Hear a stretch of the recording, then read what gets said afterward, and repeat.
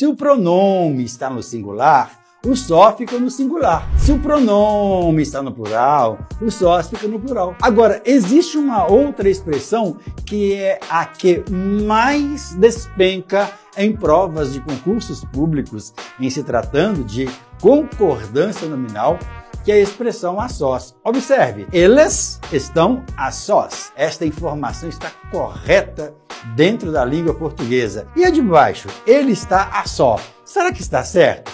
Filhão, está errado. Não existe na gramática a expressão a só. A expressão a sós ela é uma expressão invariável, ou seja, independentemente o pronome estiver no plural ou no singular, a expressão sempre será a sós, tá certo?